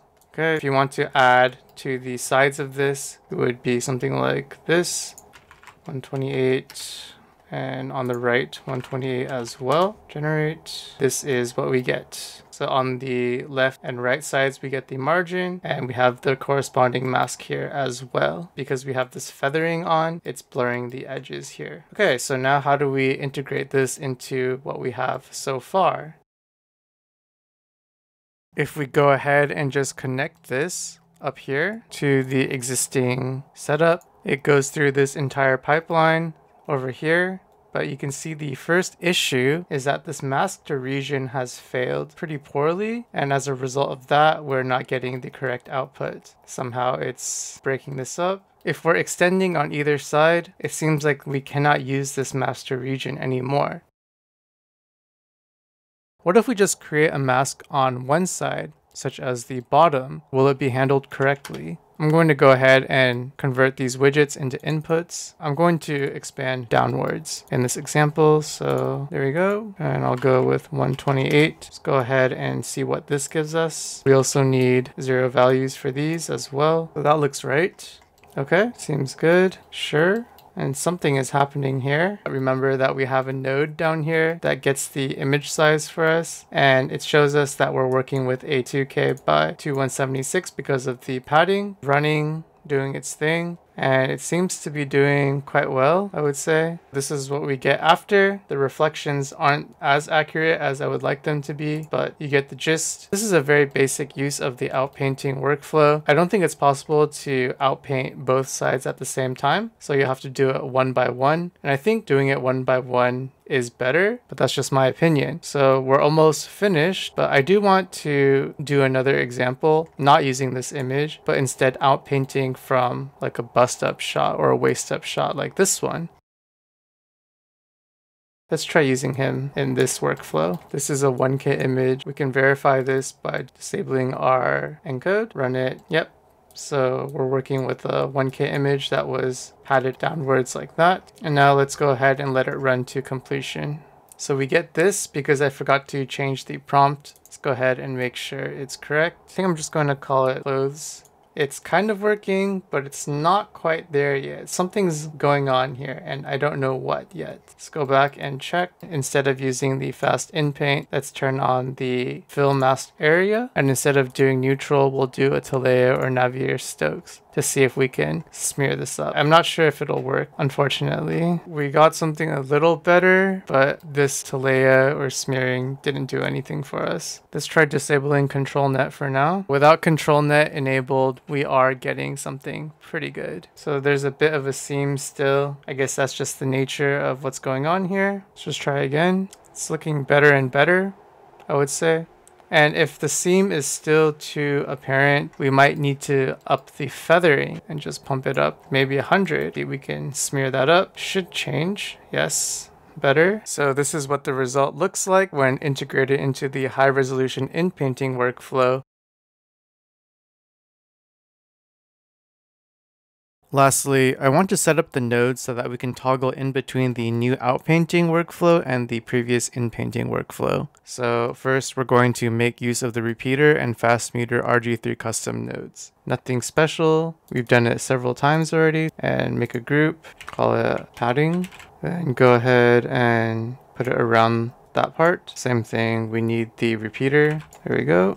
And just for good measure, drag it out to a FastMuter. So you might think now, well, if you're muting it, so let's just go ahead and mute it, nothing will go through here, but this is still not connected properly. What do we do now? Great question. rgthree has clearly thought about this because he has created a node called the context node. Context here and a context big. I'm going to bring in both of them so you can see the difference. The normal context is not going to be good enough for us because it lacks a mask category. Mask, no mask here, but there is a mask in context big. Delete that and first connect up these like so. So we have our first context big, then we'll go ahead and create the second one. And in the second one, let's just put it over here and connect it to the output of this. There we go, and there you go. So now we no longer need these extra reroute nodes. You'll see in a second why. So let me position this so we have more space. Okay, now we have these two side by side. Let's head over to the rgthree repository to get more information about this. If we scroll down in the repository, we can see the nodes and this context, context big is the one we were just using. However, there's one called context switch. If you open that up, a powerful node to branch your workflow works by choosing the first context input that is not null empty. And then if you read this one, pass in several context nodes and the context switch will automatically choose the first non-null context. And the second hint is wondering how to toggle context to null use in conjunction with the fast muter. So that's exactly what we're doing here. By using this fast muter here, this is going to be disabled and then this one will hopefully run. However, we have to make sure that this context is going first. Go ahead and create the context switch big because we need to output the mask. Go ahead and connect the context up. So you might think we have to go like this However, this ordering is wrong. You always want your muted one to go first. The reason being is that, as the documentation said, it takes the first context input that is not null or empty. So if this one is null, then it'll automatically jump to the second one, which is the classical high resolution in painting. And the reason why we use this context switch is because we need a mask. Very simple, plug that in. If this is too messy for you, you can press them, just click on these buttons here the top left to push them down. And this is the old version. Let's bring in this one, okay? And let's create a mask, save to node, and change the prompt to make sure it's doing the right thing, like that. And then let's jump over to the end here with our bookmark. The way it's set up now, what do you think will run? Because this is muted, it's going to be running this classic inpainting. But don't take my word for it, just run it and see for yourself. So there you have it. It's running up here as it should be, and it's not doing any outpainting. Yeah, something like that. That's working as expected. Head back over, W, we're here now. So if we enable this, let's see what will happen now. Run it again, jump over here. It should be outpainting. And there we go, it's doing that.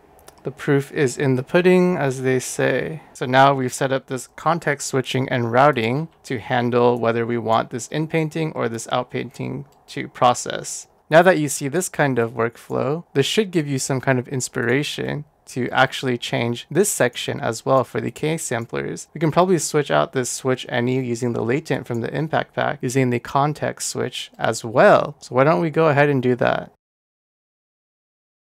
To do so, we're going to first need groups for each of these K samplers. Create groups, call this one classic, and then a second group for patch. Okay, Inside each of these groups, you want the repeater once again. Just bring that one in and you can just copy that over here as well. Rename them for readability good practice. This one is going to be K-sampler patch. Same thing if you want to drag it out to a fast muter, you can always just use the groups, but I like to do it like this. And I've been keeping pretty consistent with the colors. So muter is going to be this blue and bypasser is going to be brown. Now we have these two groups working. And if we bring over our fast groups, we have new ones over here. K-Sampler Classic and K-Sampler Patch. Now we can go ahead and add in our context nodes. I don't think we'll be needing the context big because the normal context has latent. Bring that one in. Latent right here. Copy it.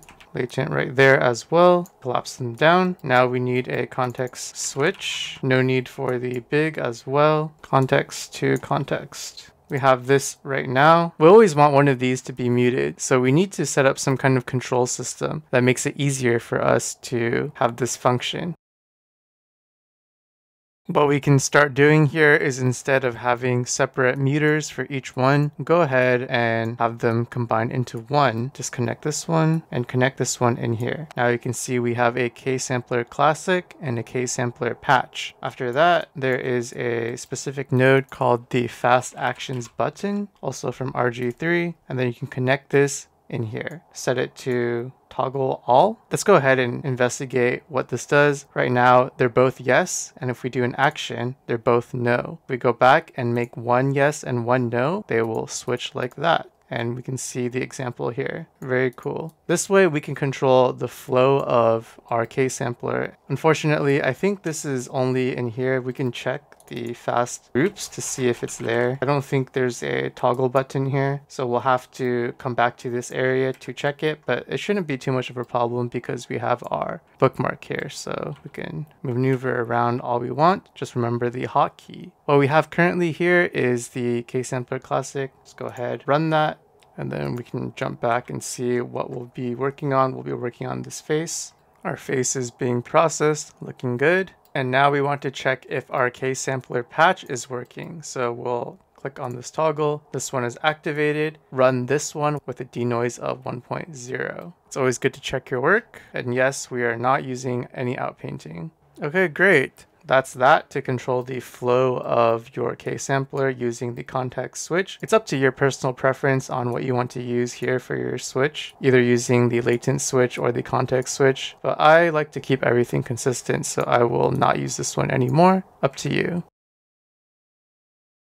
Using the same logic that I just showed you, I set up a second context switch to enable a K-sampler text to image from the output of this InPaint. I'm putting it into another toggle with the fast muter. This way I can toggle text to image on and off. So let me go ahead and drag this over here. Up here is my text to image. So if this is toggled off, then this won't run and the first thing with the available context will run. So let's try this for now and run it. We should get this to do the in painting. Yes, you can go ahead and cancel it. Don't let that run. Now toggle this so the K-sampler text will run now. And yes, our text to image is running irrespective of all of this. None of this is running now. Very nice. But there is an issue, bring this down here, which is that remember if we're going with a high resolution inpainting workflow, we're going to take the image that we get at the end of this K-sampler and place it with the original image. However, we have nothing to do here. See, this is obviously not what we want to do. In fact, we don't want to do this at all. So how do we link the state between this group for text to image and this group for cropping the image or just having the natural save? Basically, if the text to image is enabled, we want it to just save the image. If text to image is not enabled, so we'll go over here, toggle it off, then if we're doing either of the inpainting methods, then go ahead and do all the recompositing back. How do we set that up?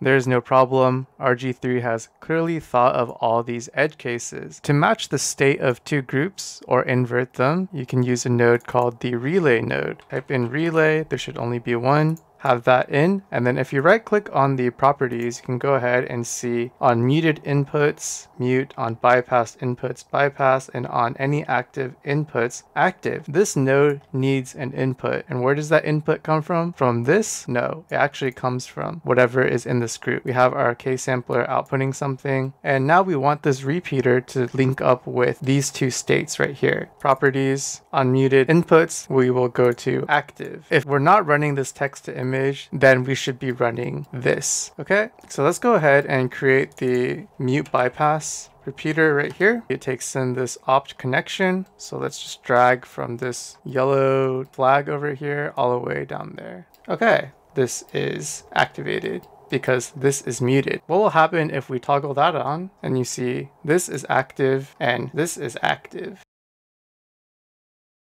So it only works one way currently. If this is muted, then this is active, which is not what we want. If this is act, this should be muted. So we didn't handle that second case in the properties. Let's go over here, right click properties on any active inputs, active. We want this to be muted. There we go. And if we go down here, everything in here is muted. Let's go ahead and play with our toggle. It's hard to have everything on the same page. Toggle it, muted, active. Basically, we're having the inverse characteristic going on here. Great. Now, how do we handle this? This thing is always running. How do we make sure that this is also following the similar conditional here?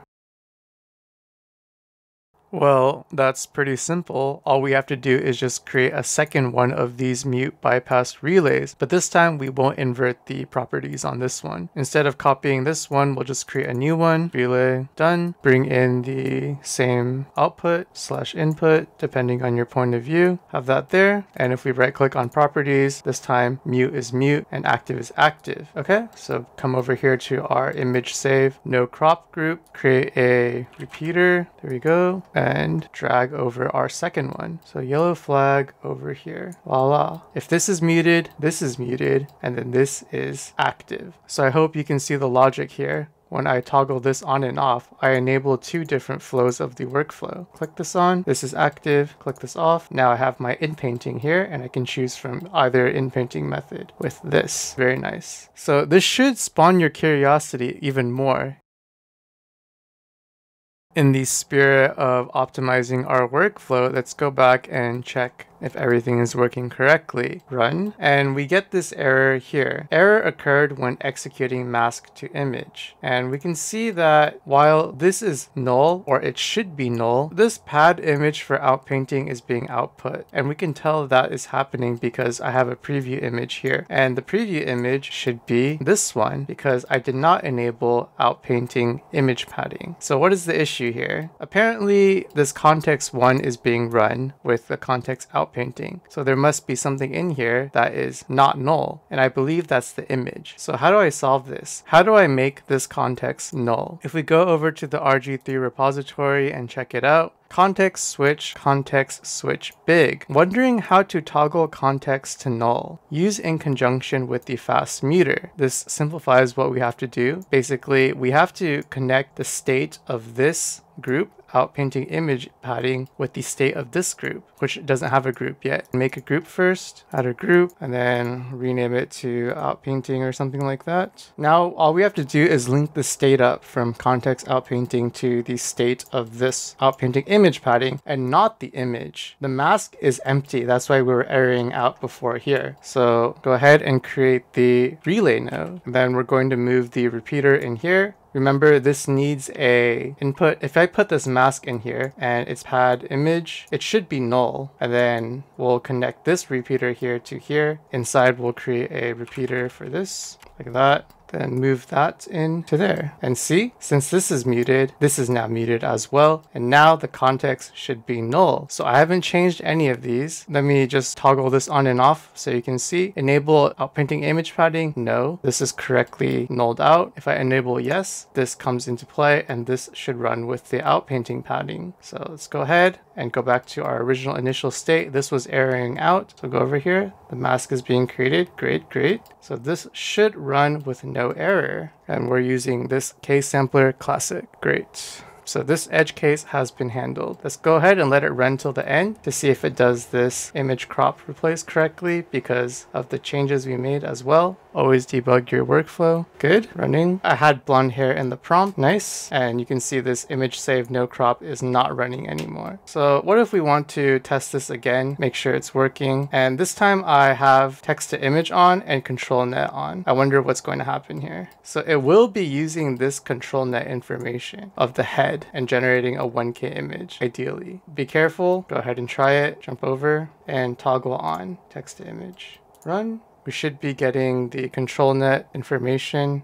Yep. The control net depth depends on the mask cutout. So be careful if you want to change the functionality. It's cutting this out and then making that the mask. If you wanted to use the whole image, then you'll have to make some changes in here.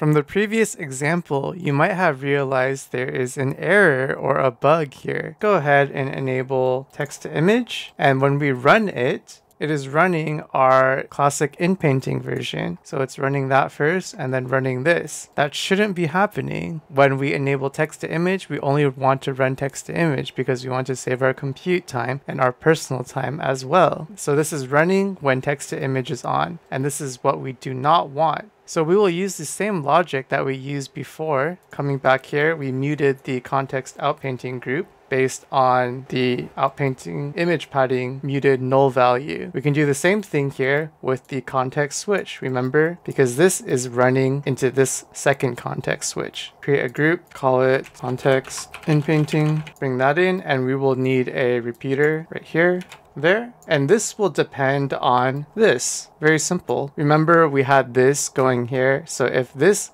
is active. This will be muted. So same thing. We will use this relay over here and just drag it into this context inpainting over here. There we go. And it's muted. Let's go ahead and run it again. So this should not run this time. Watch carefully to see if there's any changes. And there we go. Nothing is happening here. So we have solved the issue. Now let's try the other case. When it's toggled off, text to image is not working. Only inpainting is working now. And we want to toggle in between these two. Is that functionality still existing? Let's try it. So now this will run with the Fooocus inpaint patch and we should have it composited on at the end here as well. Looking good, looking good. And there we go. Everything has worked out. Let's do one more example. Currently, when we're running our text to image, it's using the control net based on the image that's cropped out from the mask over here. So if we don't want to zoom in on this crop and instead use the original image, this without the mask, how do we integrate that in? Same thing, we will use a context switch and just look for the part where we're feeding that into the control net. We follow the path of control net from here all the way back from Zoe depth map, this node here, and then where does that connect to here? And it goes through and images to RGB. So I would say this is a good place to split it off. We'll go ahead and create a context switch. So we're going to switch two contexts and then create the base context as well. We'll need two of these. The first one is going to be the image from over here. As of this image, we have not yet cropped out a mask and we want to be using this one. So it spawns from this node, connect that into images over here. And for this one, we're just going to put in whatever we have here. This is going to be the cropped image. Then we'll pass our context in here and then we'll output our image into that. Currently, the way it's set up is that it's going to use whatever is in the first context if it's not null. And it's not null right now, so it will run properly. So we can go ahead and just run it. You can see the example over here. This Zoe depth should become the whole body now after pre-processing. Yes, there we go. So you can see it's running like that and we're getting something else that's different. Very cool. Probably depth is not the best one here. Anyway, let's go ahead and make sure that it's set up correctly. So when text to image is enabled, this group should be enabled and this group should be null. And luckily for us, we already have the relay set up properly here. Let's go back here, really set up a bookmark over here go ahead and create some groups. Call this one original image and the other one cropped image. Set up a repeater for each. And now we're going to drag all the way over from here. Remember, this top one is going to be the inverse, and you can see mute is to active. Let's go ahead and rename it just so we can know. Inverse. We want the inverse to go into this bottom one. It's going to be a little tough to drag it all the way over. Drag it over first. That Make sure that's in there. You can see it automatically mutes itself. And then do the same one for this one.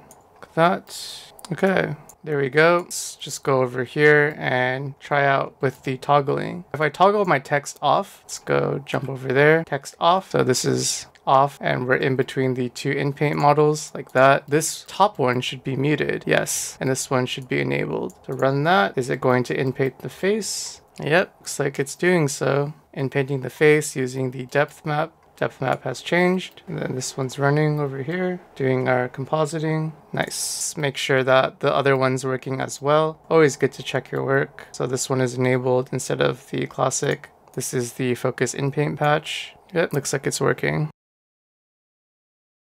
So there you have it. Hopefully all this step-by-step -step trial and error workflow that I intentionally made helps you understand how to use high-resolution inpainting for compositing, IP adapter, rgthree nodes to do context switching, and muting and bypassing for quality of life.